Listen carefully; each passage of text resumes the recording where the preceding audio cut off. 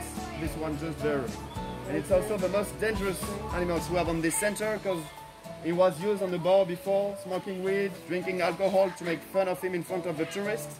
So now he's really, really aggressive with humans and he's really moody. Like a day he can be okay and the next day he will try to catch you and bite you. So we are really careful with this.